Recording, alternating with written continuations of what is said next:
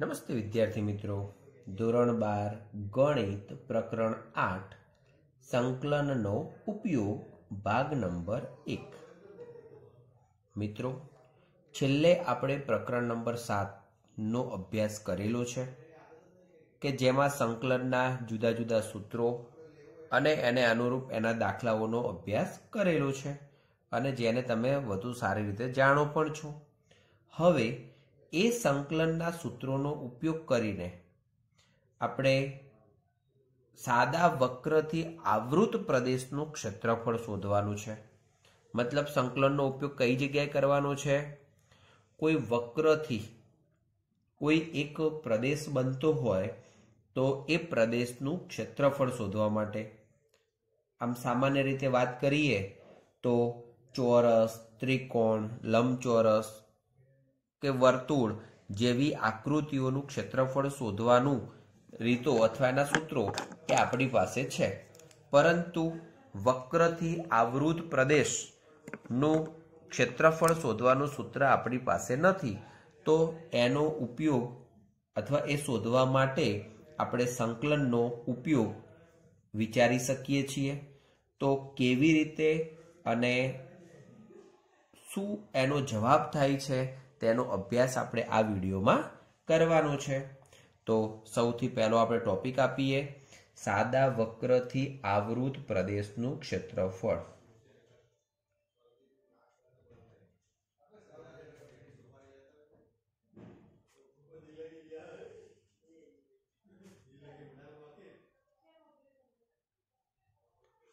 હવે મિત્રો, કેવી રીતે અને શું મળી શકે એ આપણે વિચારીએ. તો ધારો કે અહીંયા હું એક વિધેય લઉં છું કે y equal to f x વિધે x equal to એ અને એક્સ ઇક્વલ ટુ બી રેખાઓ તથા એક્સ અક્ષ વડે આવૃત પ્રદેશનું ક્ષેત્રફળ ચલો, હવે આવૃત પ્રદેશનું ક્ષેત્રફળ. પહેલા તો આપણે આના માટેની એક આકૃતિનો વિચાર કરીએ. તો જુઓ, આ રીતે ધારો કે બે પ્રકારની એક્સ અક્ષ અને વાય અક્ષ છે. વાય ઇક્વલ ટુ એફએક્સ પ્રકારનો વક્ર, ધારો કે આ જગ્યાએ આ રીતે હોઈ શકે. બરાબર છે? અને એક્સ ઇક્વલ ટુ એ રેખા અને એક્સ ઇક્વલ ટુ બી રેખા. તો એક્સ ઇક્વલ ટુ એ રેખા આપણે અહીંયા વિચારીએ અને એક્સ ઇક્વલ ટુ બી રેખા અહીંયા વિચારીએ. તો એક્સ ઇક્વલ ટુ એ અને b Rekha y equal to f x વક્ર અને એક્સ અક્ષ. વડે આવૃત પ્રદેશ આપણે વિચારીએ, તો એ પ્રદેશ આટલો થાય છે. હવે એ પ્રદેશનું આપણે ક્ષેત્રફળ વિચારવું છે. તો એક આ પ્રકારની આકૃતિ હોઈ શકે, યા તો આ પ્રકારની આકૃતિ પણ હોઈ શકે. ધ્યાનથી જોઈ લેજો. અહીંયા જે પણ વક્ર છે, એ વક્ર કાં તો પ્રથમ ચરણમાં, કાં તો પ્રથમ અને દ્વિતીય ચરણમાં, કોઈ પણ જગ્યાએ હોય, ત્યારે આપણે આ રીતે આવૃત પ્રદેશ વિચારીએ છીએ. X equal to a x equal to b x અક્ષ વાય અક્ષ, આ છે ઉગમ બિંદુ, અહીંયા પણ ઉગમ બિંદુ. તો આની અંદર થતો પ્રદેશ પણ આટલો થવાનો છે. હવે આ બંને પ્રદેશો નું આપણે ક્ષેત્રફળ વિચારવું છે. તો હવે એ ક્ષેત્રફળ સૌથી પહેલા તો તમને એમ કહીશ કે એક્સ અક્ષથી ઉપરના ભાગે છે બંનેમાં, તો હંમેશા એ ધન હશે. પરંતુ ક્યારે? તો જુઓ આ શિરોલંબ રેખાઓ એક્સ ઇક્વલ ટુ એ અને એક્સ ઇક્વલ ટુ બી સ્વરૂપની છે. તો હવે એક્સ ઇક્વલ ટુ એ અને એક્સ ઇક્વલ ટુ બી સ્વરૂપની શિરોલંબ રેખાઓ હોય, તો એ વખતે આપણે જે પણ ક્ષેત્રફળ મળે છે, એને આપણે ધારો કે એ તરીકે ઓળખીએ તો integration a to b y d x તરીકે મળે. શું મળશે? Integration a to b. સમજી લેજો, જેની લિમિટ હોય એક્સ ઇક્વલ ટુ અને એક્સ ઇક્વલ ટુ બી, તો એના ડીએક્સ લખવાના અને એના સિવાયનું જે ચલ છે, એ ચલ આપણે અહીંયા લખવો પડે. ચલ અહીંયા લખ્યો છે એનો મતલબ કે વાય તરીકે એફ એક્સ એક્સ સ્વરૂપનું જે પણ વિધેય છે, એ વિધેય અહીંયા લખાય. પરંતુ એક્સ અક્ષથી ઉપરના ભાગે છે, તો માટે એનું મૂલ્ય હંમેશા અહીંયા ધન રહેવાનું છે. ક્ષેત્રફળ એ બરાબર integration a to b y d x થાય છે. બરાબર? અને જેનું મૂલ્ય ખરેખર કેવું છે? ધન છે, કારણ કે એક્સ અક્ષની ઉપરના ભાગમાં છે એટલે હવે આપણે એક નોંધ લખી દઈએ કે કેવી રીતે આપણે શું કામ કરીએ છીએ? તો કે જ્યારે એક્સની લિમિટ નો ઉપયોગ થાય ત્યારે એક્સ ચલ આધારિત સંકલન થાય છે. બરાબર? એક્સ ચલ આધારિત સંકલન થાય છે. અને વિધેયમાંથી વાયને કરતા બનાવી તેનું એક્સ ચલમાં રૂપાંતરણ કરી ને સંકલનમાં મૂકવું. બરાબર? તો આ રીતે. હવે મિત્રો, આની આ જ વસ્તુ અહીંયા આપણે સમજ્યા કે આનું મૂલ્ય ધન થાય છે. હવે એ જ પ્રમાણે આપણે એક્સ અક્ષની નીચેના ભાગે, ધારો કે કોઈ પ્રદેશ છે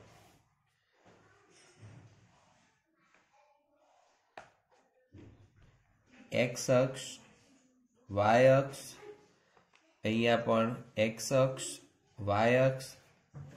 ચલો ધારો કે આ જગ્યાએ કોઈ વક્ર છે એક્સ ઇક્વલ ટુ એ અને એક્સ ઇક્વલ ટુ બી બે રેખાઓ છે અને આટલો પ્રદેશ ધારો કે આવે છે. ઓકે? અને વક્ર આપણો y equal to f x છે. કે ધારો કે અહીંથી આમ આવતું હોય તો એ વખતે બંને જે પ્રદેશો અહીંયા દેખાય છે, એ બંને પ્રદેશોની અંદર જે પણ ક્ષેત્રફળ આપણને મળે છે, એ ક્ષેત્રફળનું મૂલ્ય કેવું હશે? ઋણ હશે. કારણ કે એક્સ અક્ષથી નીચેના ભાગમાં છે. તો આ વખતે ક્ષેત્રફળ આપણે કોને કહીશું? તો કે ક્ષેત્રફળ એ equal to mod integration a to b y d x તરીકે આપણે ઓળખીશું. ટૂંકમાં, આપણે જ્યારે પણ ક્ષેત્રફળ વિચારીએ છીએ, તો એ ક્ષેત્રફળનું હંમેશા ધન મૂલ્ય લેવું પડે. અહીંયા સીધું જ ધન થઈ જાય છે. તો આપણે કોઈ માનાંક કરતા નથી. પરંતુ અહીંયા ઋણ મળે છે. તો એ વખતે આપણે શું કરવું પડે છે? એનો માનાંક કરવો પડે છે. પરંતુ સંકલન કર્યા પછી આપણે જે ઋણ જવાબ આવે છે, એનો માનાંક કરીને આપણે એનો જવાબ ધન બનાવવા પ્રયત્ન કરીશું. તો આ જે આકૃતિઓ અને જે ક્ષેત્રફળ મળ્યું છે, એ કોના માટે મળ્યું છે? વાય ઇક્વલ ટુ એફેક્સ સ્વરૂપનું વિધેય હોય ત્યારે મળ્યું છે.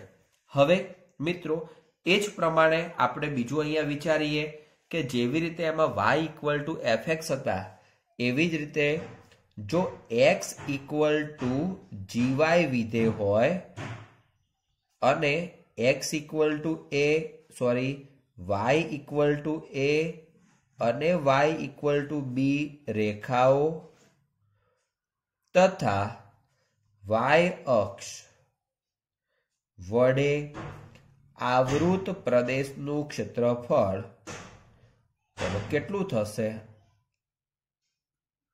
તો મિત્રો, આનો મતલબ એવો થયો એક્સ ઇક્વલ ટુ જીવાય સ્વરૂપ આપણે વિધેય વિચારીએ છીએ.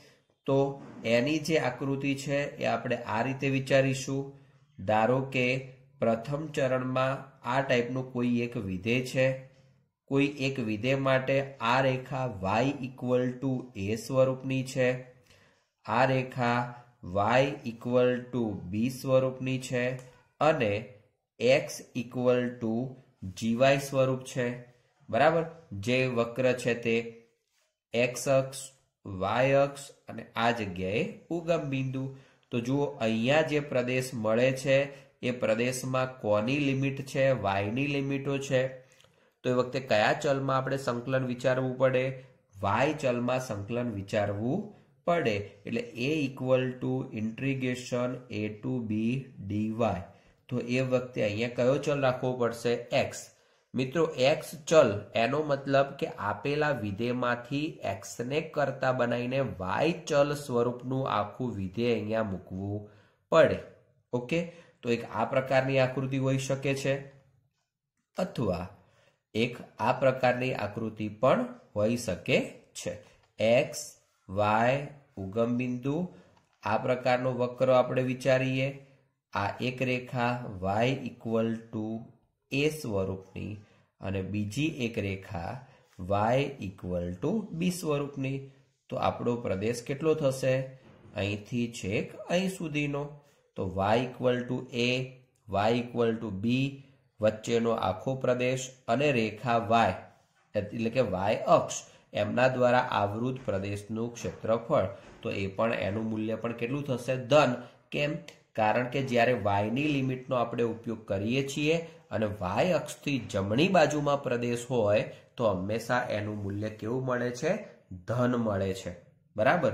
તો અહીંયા આપણે એની નોંધ લખવી હોય, તો લખી શકીએ. નોંધ જેવી રીતે અહીંયા સામે નોંધ લખી છે એક્સની લિમિટની, એવી જ રીતે આપણે વાયની લિમિટ માટે નોંધ લખવાની છે કે જ્યારે વાયની લિમિટ નો ઉપયોગ થાય ત્યારે વાય ચલ આધારિત સંકલન થાય છે અને વિધેયમાંથી એક્સને કરતા બનાવી તેનું વાય ચલમાં રૂપાંતરણ કરીને સંકલન કરવું. ઓકે?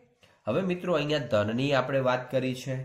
એ જ પ્રકારે ધારો કે કોઈ ઋણ વિધેય હોય તો આપણે એને પણ વિચાર કરી લઈએ. તો જેવી રીતે આ બાજુએ વિધેય છે, હવે એવું વિધેય કઈ બાજુ હોય?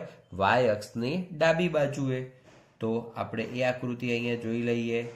વાય અક્ષ આ છે એક્સ અક્ષ. ચાલો એક્સ વાય ઉગમ બિંદુ આ રીતે વક્ર. એક છે વાય ઇક્વલ ટુ એ બીજું છે વાય ઇક્વલ ટુ બી તો આ પ્રકારે સમજી લેજો વાય અક્ષથી ડાબી બાજુએ વિધેય આપેલું છે.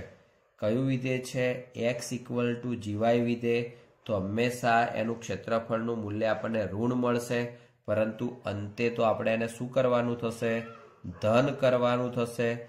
હવે ધન મૂલ્ય કરવા માટે સંકલનને આપણે માનાંક કરવો પડશે. અહીંયા વાય ઇક્વલ ટુ બી રેખા વાય ઇક્વલ ટુ એ રેખા એક્સ અક્ષ વાય અક્ષ, ઉગમ બિંદુ, તો આ રેખાઓ વાય અક્ષ અને વિધે વડે આવૃત પ્રદેશ આટલો થશે તો એનું મૂલ્ય પણ ઋણ મળશે. તો માટે આપણે ક્ષેત્રફળ કેટલું વિચારીશું? એ બરાબર mod integration a to b x d y. કાં તો તમે એક્સ લખો, નહીતર આપણું વિધેય કયું છે? એક્સ તરીકે જીવાય છે. તો એક્સની જગ્યાએ તમે જીવાય પણ લખી શકો છો. એટલે mod integration A to B જીવાય D Y તો આ થયું આપણું પ્રશ્ન નંબર સોરી આ વાય ચલ આધારિત. જ્યારે વિધેય હોય ત્યારે એનું વાય ચલ પ્રમાણે આપણે સંકલન કેવી રીતે કરીએ છીએ અને પ્રદેશનું ક્ષેત્રફળ કેવી રીતે શોધીએ છીએ તે. બરાબર? હવે મિત્રો, એના પછી એક અલગ પ્રકારનું એક સ્વરૂપ છે. એને આપણે સમજવાનો પ્રયત્ન કરીએ. તો ધારો કે આ પ્રકારની આકૃતિ છે, આને આ રીતે નોંધવાનો પ્રયત્ન કરજો કે આપણે આ સ્વરૂપનું જ વિધેયનો વિચાર કરીએ છીએ કે વાય બરાબર એફ એક્સ એ એક્સ અક્ષને એક્સ અક્ષને એક્સ ઇક્વલ ટુ બી આગળ છેદે. તો, ચલો આપણે આવી આકૃતિ વિચારીએ છીએ. વાય અક્ષ છે. આ એક્સ અક્ષ છે. ઉગમ બિંદુ છે. જુઓ, આ પ્રકારે ધારો કે આપણું વિધેય છે. Y equal to f x.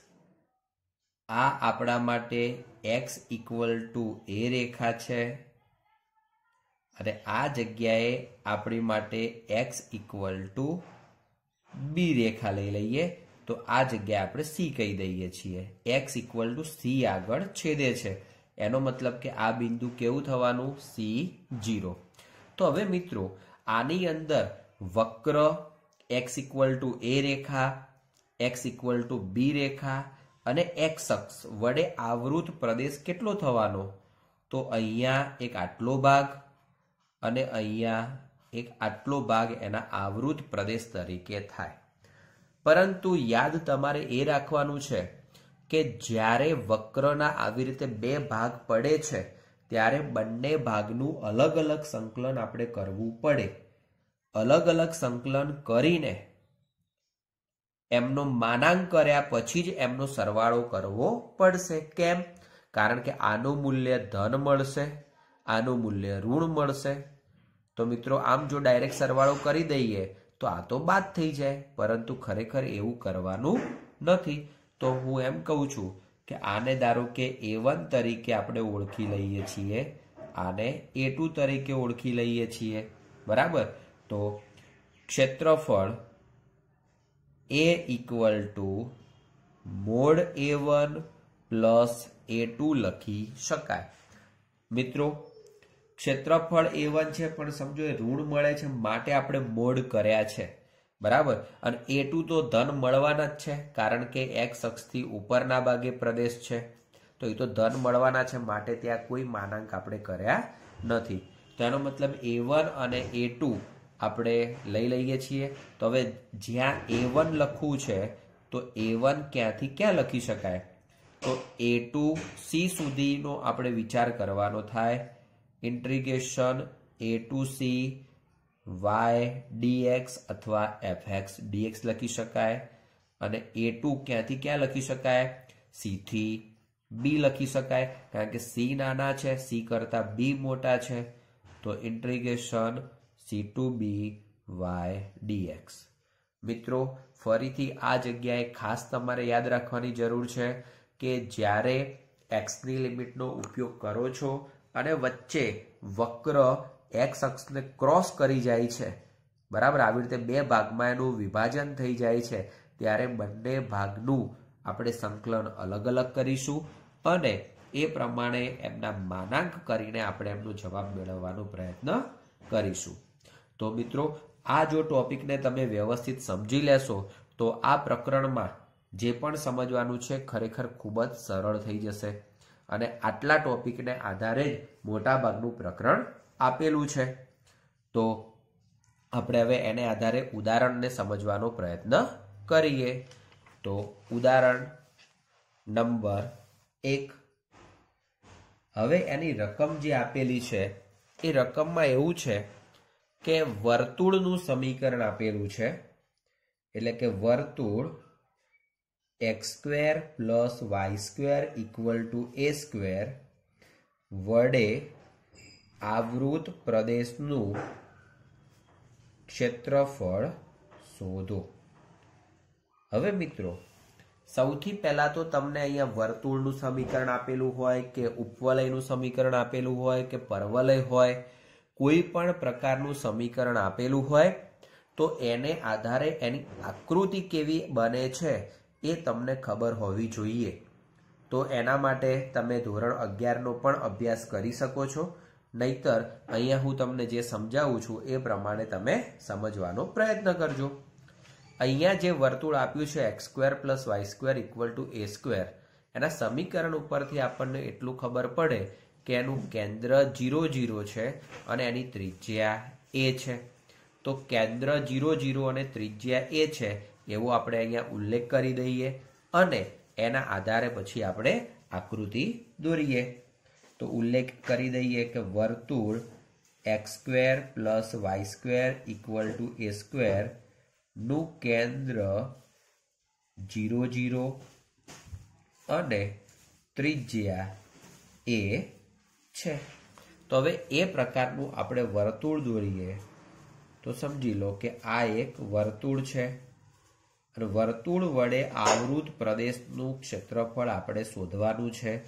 એનો મતલબ એ થયો કે આ જે વર્તુળ છે, એ વર્તુળ દ્વારા આખે આખો કેટલો પ્રદેશ આવરાય છે એનું આપણે ક્ષેત્રફળ શોધવાનું થાય. પરંતુ ઉગમ બિંદુ કેન્દ્ર હોવાને કારણે જે વર્તુળ બને છે, એ વર્તુળનું એક્સ અક્ષ અને વાય અક્ષ બંને સરખા ભાગમાં વિભાજન કરે છે. હવે, એક નોંધ આપણે આના પહેલા નોંધી દઈશું કે નોંધ એ રીતની છે કે કોઈ પણ અક્ષ દ્વારા કોઈ આકૃતિનું બે સરખા ભાગમાં વિભાજન થતું હોય, તો એક્સ અક્ષ પ્રત્યે સંમિત છે એમ કહેવાય. જે તે વક્ર એક્સ અક્ષ પ્રત્યે સંમિત છે એવું કહેવાય. તો એ નોંધ હું અહીંયા લખું છું, એને તમે નોંધી દેજો કે કોઈ પણ વક્રનું કોઈ અક્ષ દ્વારા બે સરખા ભાગમાં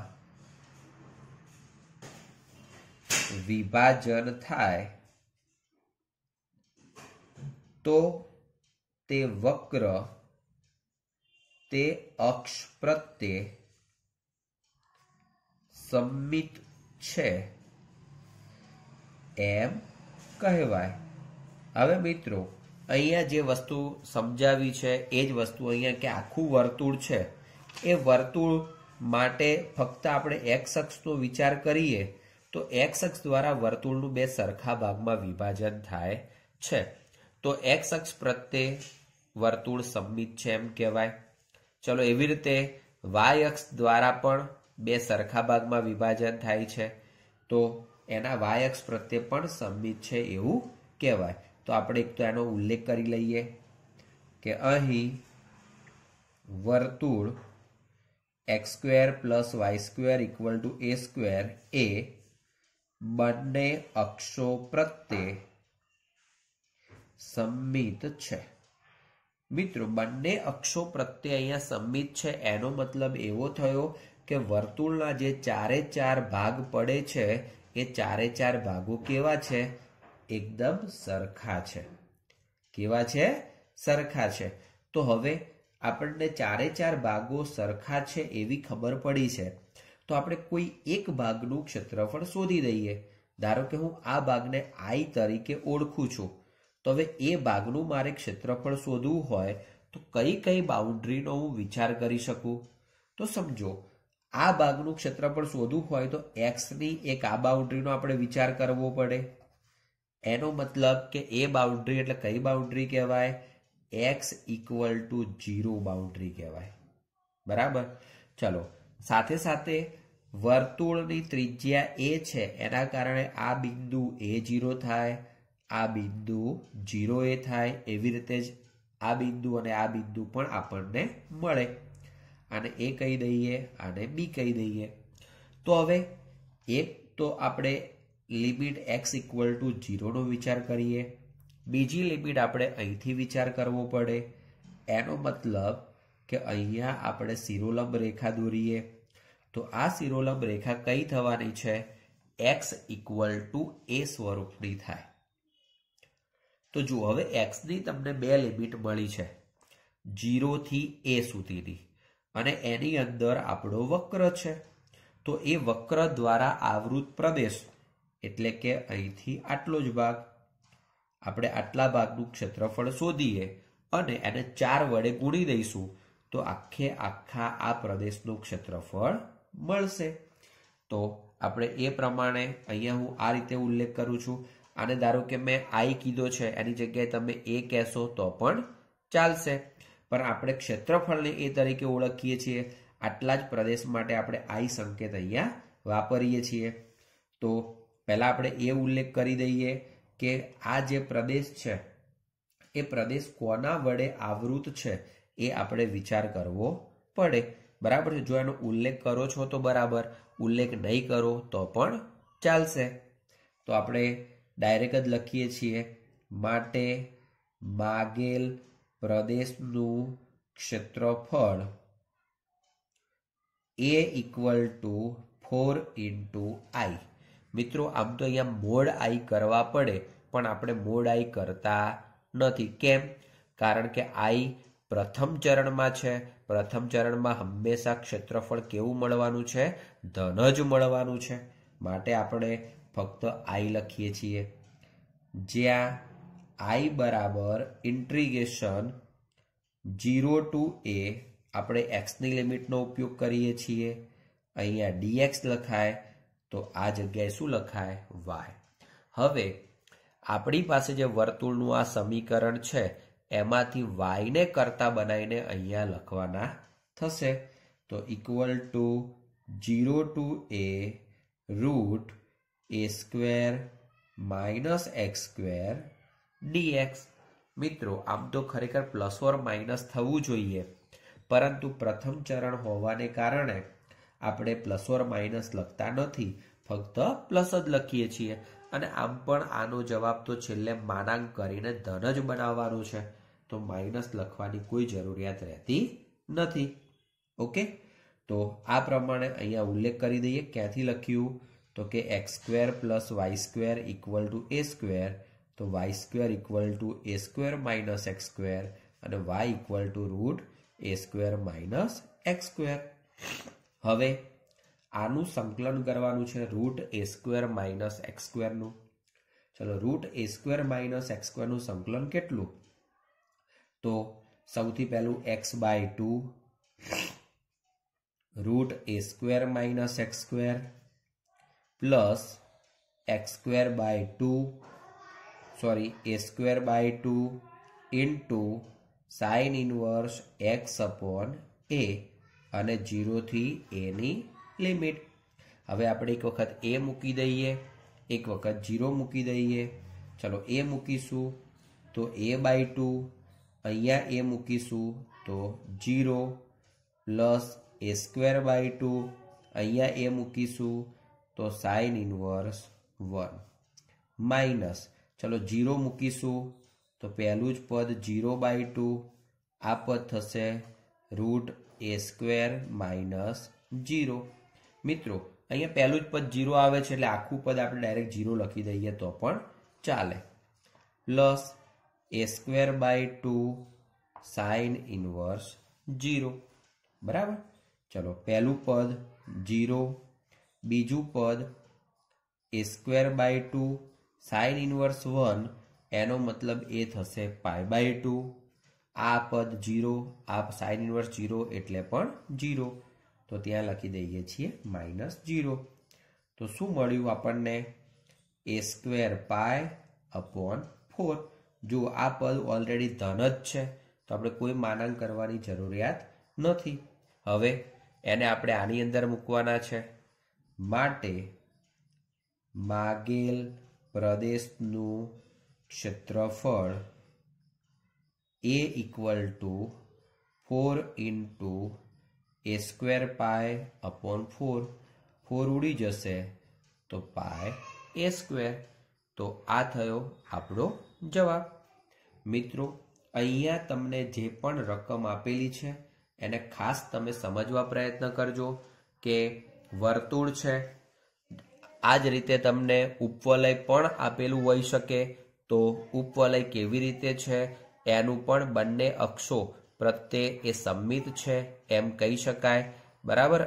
કોઈ એક ભાગનું આપણે ક્ષેત્રફળ શોધીએ અને ચારેય ભાગ પ્રમાણે એમનો જવાબ ચાર વડે ગુણવાથી આપણને મળી શકે છે. તો માગેલ પ્રદેશનું ક્ષેત્રફળ એ બરાબર ફોર ઇન્ટુ તમે મોડ આઈ પણ કરી શકો છો અને એકલો આઈ પણ રાખી શકો છો. તો મિત્રો, આપણે એવો જ નિયમ બનાવી દઈએ, દરેકમાં આપણે મોડ આઈ તરીકે જ એનો ઉલ્લેખ કરીશું. ક્ષેત્રફળ હંમેશા ધન જ આવે, એ હિસાબે એને આપણે ડાબી બાજુ રાખશું. જે પણ પ્રદેશો આવશે, એને I one, I two, I three એવા સંકેત તરીકે ઓળખીશું અને એ રીતે એનો જવાબ આપણે મેળવીશું. તો આ થયું આપણું ઉદાહરણ નંબર એક. મિત્રો, આશા રાખું છું કે ઉદાહરણ એકમાં તમને ખૂબ જ સરસ રીતે અને વ્યવસ્થિત સમજાયું હશે. હવે પછીના વિડીયોમાં આપણે ઉદાહરણ નંબર બેનો અભ્યાસ કરીશું. થેન્ક યુ જય હિન્દ, જય ભારત.